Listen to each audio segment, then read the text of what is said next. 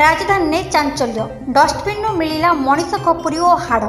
ରାଜଧାନୀ ଭୁବନେଶ୍ୱରର IIC village ଅଞ୍ଚଳରେ ଏକ ଡଷ୍ଟବିନ୍ରୁ ଆଜି ମଣିଷର ଖପୁରି ଓ ହାଡ଼ ଠାବ ହୋଇଛି।